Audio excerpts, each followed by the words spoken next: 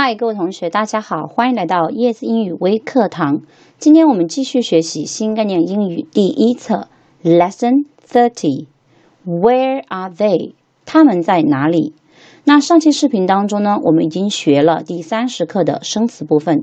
这节课呢，我们来看一下课文和语法。课文语法解析。好，在开始学习课文之前呢，我们还是先来复习一下这节课的生词和短语。请同学们跟老师一起读：empty，empty，empty，动词，倒空，使什么变空；read，read，read，动词，读；sharpen，sharpen，sharpen，动词，削尖，使锋利；put on。put on, put on, 穿上；take off, take off, take off, 脱掉；turn on, turn on, turn on, 开电灯；turn off, turn off, turn off。 关电灯。OK，现在请同学们将课本翻到第五十九页，来听一下，来听一下本节课的三段示范听力内容。Lesson 30. Look at number two. Open. Open your desk. Look at number six. Put on. Put on your watch. Look at number 13. Turn on. Turn on the light. OK，这三段听力对话是不是非常简单呀？是的，没错。它们呢，就是将前面的动词跟后面的名词搭配起来就可以。那剩下的听力部分呢，请同学们 自行完成。好，我们还是来看一下课本的第五十九页。同学们发现了很多张图片，是不是？而且图片上面呢，有一些数字，从一到三十五都有。在早一点的课程里呢，老师已经粗略的带着同学们学习了一到十、十一到十九，以及整数二十三十四十五十六十七十八十九十的具体说法。另外呢，我们还学习了如何表达几十几、几百几十几以及几千几百几十几。那今天呢，我们再来把这些数字以及它们的表达方式再来复习一遍。好，我们先来看一下数字一到一十二，同学们还记得他们怎么说吗？好，现在我们一起来回顾一下：一叫 one，one，one；二叫。Two, two, two，三叫 three, three, three。这个 th 呢，同学们记得一定要咬舌头哦。还有后面这个 ee 字母组合，它发那个长元音 e，也就是我们说的笑音。OK，好，四怎么说呢？叫 four, four, four。这个 o u r 呢，它是一个非传统二音节，它就发长元音 or。五怎么说呢？叫 five，five，five。这个 five 呢，它是一个相对开音节，这个 i 呢，在这里发本声音 i。六叫 six，six，six。它是一个重读并接词，元音字母 i 在这里发对应的短元音 e，x 呢发这个 x 的音。好，七叫 seven，seven，seven，八叫 eight，eight，eight。这个 e i g h 它也是一个字母组合，四个字母只发一个双元音 a，OK。九叫 nine，nine，nine，它也是一个相对开音节，元音字母 i 在这里发本声音 i。十叫 ten，ten，ten，它是一个重读并结词，元音字母 e 在这里发短元音 a。十一叫 eleven，eleven Eleven，。十二叫 twelve，twelve，twelve。OK，同学们有回忆起来吗？我们复习完了一到一十二。现在呢，我们来看一下这个 t e e m，它读什么呢？我们刚说了，这个 e 字母组合它发长元音 e，所以它读作 teen，teen，它是什么意思呢？它表达什么呢？t e n 呢，它表示十，可以用来构成十三到十九这些数字。那这里呢，请同学们注意一下这个 t e n 左边的这个重读音节符号，意思就是说，在十三到十九这几个数字当中，t e n 这个部分是必须要被重读的。我们具体来看一下，十三叫做 thirteen Thirteen, thirteen，重读音节在这里哦。这里呢，它不是用的三 three。加上 t e n 构成的，而是用的 t h i r 再加上 t e e n 构成十三的。好，十四呢叫做 fourteen，fourteen，fourteen。那十四呢就好记一点，它是由数字四再加上表示十的这个 teen 所构成的。十五叫做 fifteen，fifteen。Fifteen，这里呢不是 five，而是 f i f，再加上表示十的 teen，一起构成了数字十五。十六叫 sixteen，sixteen，sixteen，这个好记是不是？就是数字六加上十就变成了十六。十七叫做 seventeen，seventeen，seventeen。同样的，它也是由数字七加上表示十的 ten 所构成的。那十八怎么说呢？叫做 eighteen，eighteen，eighteen。这里需要注意一下，因为八叫 eight，而这个 ten 呢刚好是以 t 开头，所以呢为了简化书写呢，十八里面呢就只有一个字母 t。这里同学们需要注意一下哟。好，十九叫做 nineteen。Nineteen, nineteen，它呢就是由数字九加上表示十的 t e n 所构成的，也很好记，是不是？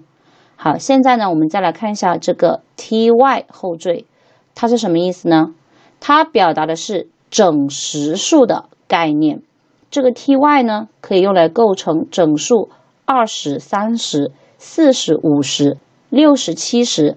八十和九十，我们一起来看一下。二十叫做 twenty，twenty，twenty。注意哦，这里重音到前面去了，这个 ty 呢只能被弱读哦。三十叫做 thirty，thirty，thirty。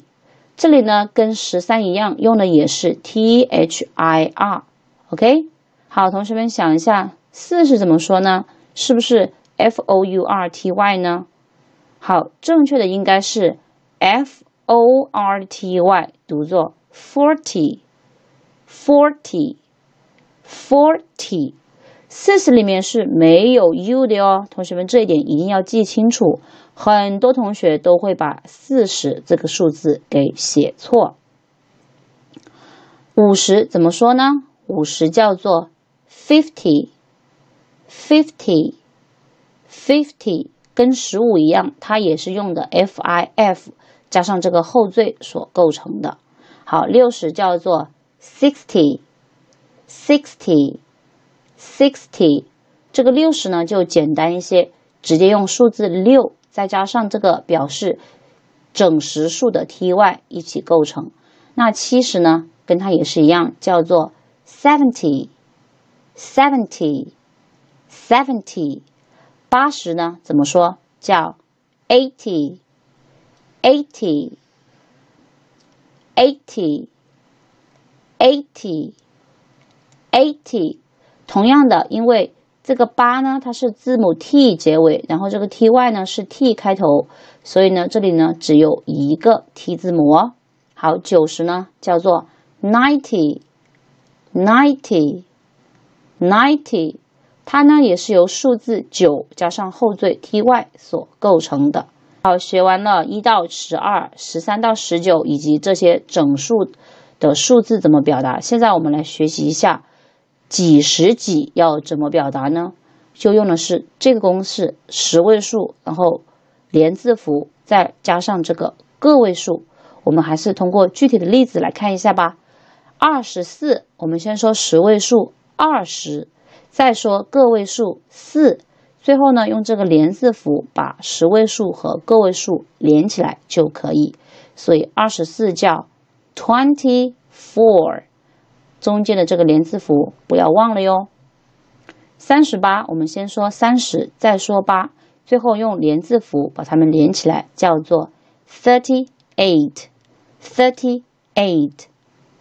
四十一呢，我们先说四十，再说一，最后用连字符连起来，叫做 forty one。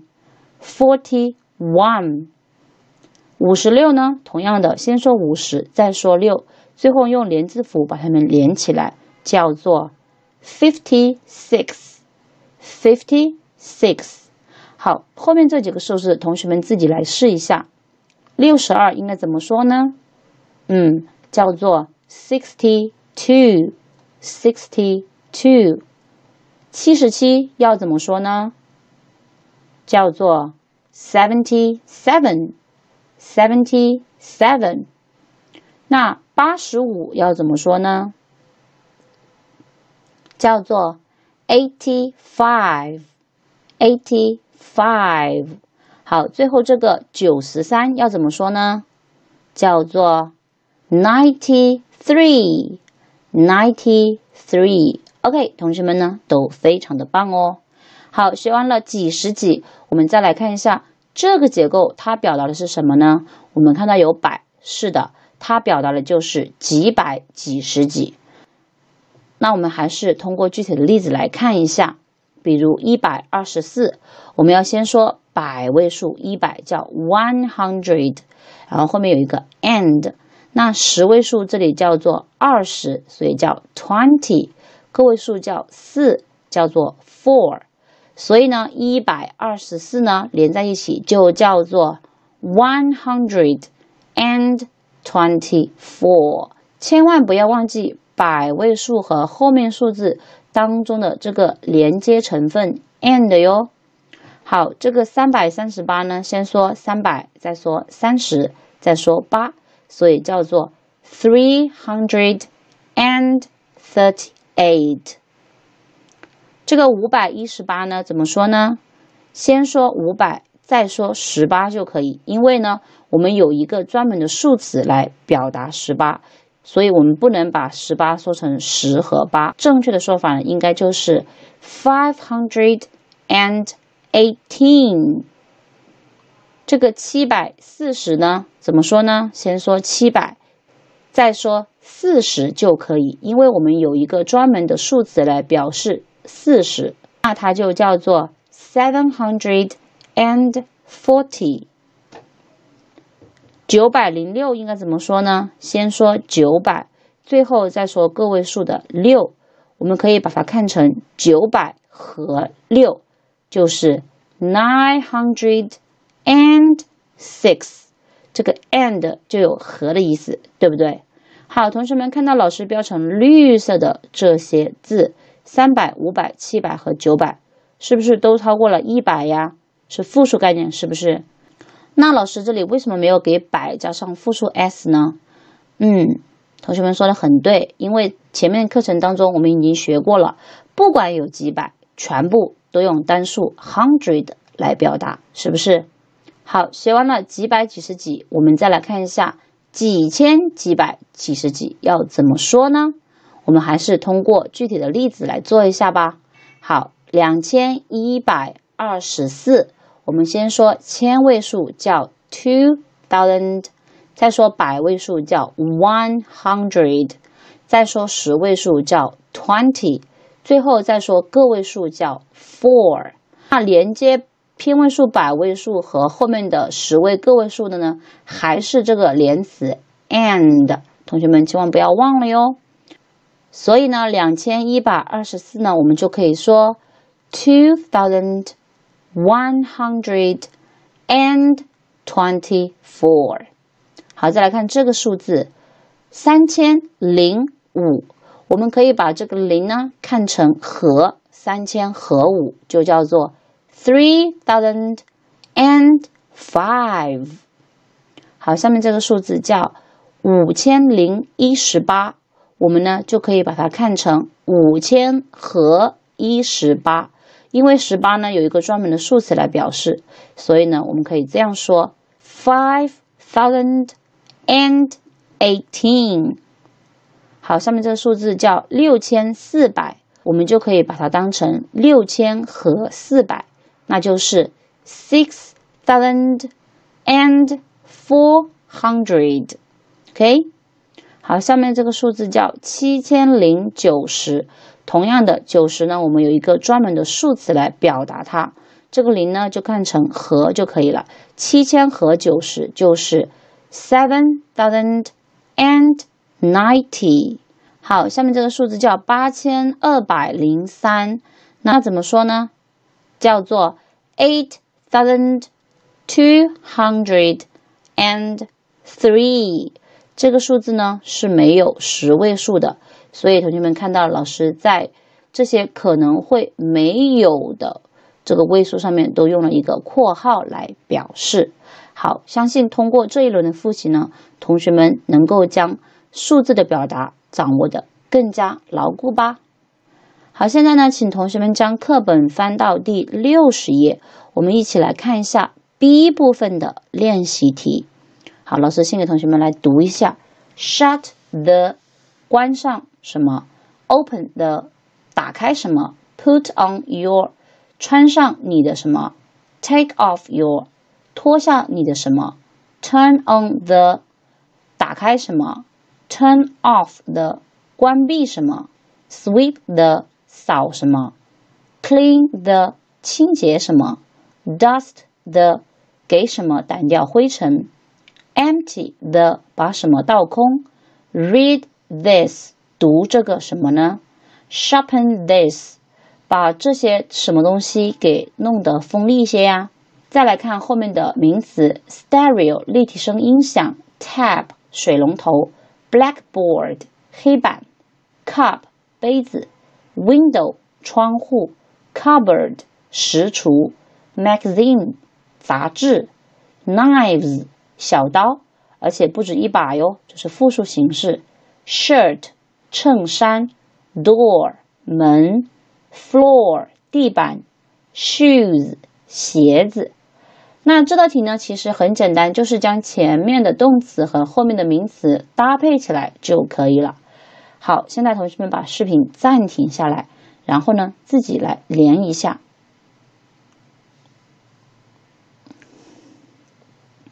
OK，那这里呢，老师给同学们提供一份参考的答案，我们一起来看一下。Shut 关闭，我们既可以说关门，也可以说关窗，对不对？老师说的是 shut the door 关门。那同样的，我们也可以说 shut the window 关窗，是不是？那 open 呢，跟 shut 相反，这里呢，我们就只能选 window，open the window 叫开窗。Put on your shoes，穿上你的鞋子。当然了，我们还可以说穿上你的衬衫。那后面这个 take off 呢，就只能选择 shirt，是不是？脱下你的衬衫。Turn on the turn on 呢，一般是表示用来打开带电的设备，或者是水龙头、呃煤气等等。那这里老师选择的是 turn on the stereo，打开立体声音响。那这个 turn off 跟它相反，这里选的就是 tab。Sweep 它一般指的是扫地，所以叫做 sweep the floor 扫地。Clean 清洁，清洁的东西可多了，老师在这里选的是 blackboard，把黑板清理一下。dust the 给什么掸掉灰尘？这里老师选的是 cupboard，把食橱上面的灰尘擦一下。empty 倒空，这里呢老师选的是 cup，把那个杯子倒空一下。Read this 读，这里呢就只可以选这个 magazine，读这本杂志。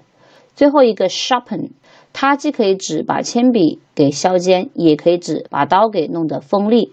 那这里呢，就只剩下这个 knives，sharpen these knives，把这些刀给弄得锋利一点。同学们，你们是怎么做的呢？这些动词短语呢非常重要，请同学们一定要在课下多读哟。好，来看一下本课的作业。第一点要记第二十九课和第三十课的单词。第二点多读，最好做到会背第二十九课的课文。第三点呢，做课本第六十页的课后书面练习。刚才呢，我们做了 B 部分，还有一个 A 部分需要同学们做哟。第四点就是要预习第三十一课的单词和课文。好，学完的同学呢，请记得一定一定要收藏、点赞和转发哟。